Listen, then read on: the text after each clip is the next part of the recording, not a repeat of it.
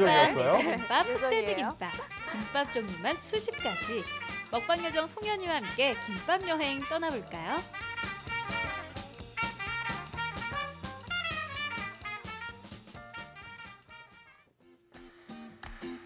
아, 야, 따뜻한. 엄마의 마음을 전해주는 김밥집이 있다고 해서 찾아간 이곳.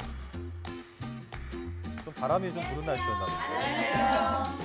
저희는 정성과 사랑으로 손맛이 듬뿍 담겨 있는 건강한 김밥을 만들고 있습니다.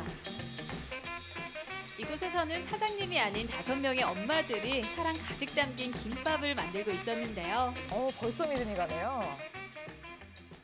집에서 이제 정성껏 요리 경험들이 있는 집밥 같은 그런 걸 어. 제가 하고 싶어서 학교에 학원에 제대로 된 끼니를 챙겨 먹지 못하는 우리 아이들.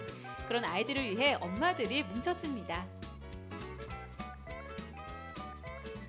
성장기 아이들에게 특히나 좋은 뼈 튼튼 멸치. 아, 멸치 넣으면 되게 맛있거든요. 멸치가 그 따뜻한 식감, 밥과 식감이 만났는데요. 진짜 좋아요. 그러니까. 여기에 철분이 많은 시금치까지 아낌없이 들어가 보기만 해도 건강해지는 영양 만점 김밥 완성. 이야, 푸짐하네요. 따뜻한 아, 엄마의 마음이 먹자마자 튼튼해지는 보이시나요? 느낌. 네. 뼈로 가는 느낌? 네. 이뿐만이 아닙니다. 엄마의 손으로 직접 만든 돈가스도 엄마표 김밥에 아낌없이 들어갑니다. 이야, 저 방준영 리포터 좋아하는 김밥인데. 사랑을 꾹꾹 눌러 담은 돈가스 김밥도 완성. 아삭아삭한 맛이 있더라고요, 돈가스 김밥. 어, 그래요. 네, 씹히는 맛이? 좋아요. 어, 같이 사실 제가 먹어요. 정말 네. 엄마의 손맛이 느껴지는 멸치랑 돈가스 김밥을 봤는데요. 근데 더 특별한 게 있다면서요? 네 바로 이겁니다. 뭘까요? 자신 있게 꺼내든 어? 엄마의 비법.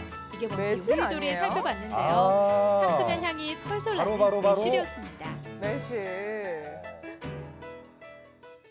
날씨가 이제. 더워져 가면 행복하죠. 식중독 그런 이제 그것도 걱정스럽고 해서 이제 어떻게 할까 하다가 매실장아찌를 이제 김밥에 약간 첨가시키면 그게 약간 예방적인 차원이 돼서 오, 여러분 혹시 알고 있었네요. 계셨나요? 그러니까 집밥 같은 매실은. 우리. 몸속 향균 자금을 도와 식중독 예방에 탁월하다고 하는데요. 역시 건강 챙겨주는 건 엄마밖에 없네요. 거기에 맛까지 더했습니다. 고소한 깻잎에 상큼한 쌈무에 침샘 작은 흑돼지구이까지 올리니 어떡해. 우와. 먹을 좋고 맛도 좋은 김밥이 완성됐습니다.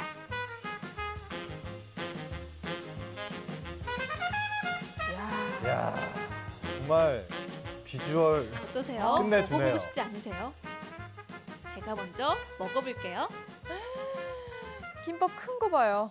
아유, 송현 씨가 입이 생각보다 큰 거 아니에요? 네. 김밥이. 음. 어, 우리만 고기가 들어가 있어서 살짝 느끼할 수도 있는데 그걸 이그 매실 장아찌가 잡아주는 것 같아요. 예, 가격을 올려라 재료값도 많이 올랐으니까 올려야 된다 이렇게 그분들이 싹 하시는 분들이 얘기해도 제가 음. 제그 손익 계산만 딱 제 월급만 되는 하는 하는 이대, 아. 이대, 이대로 쭉 갈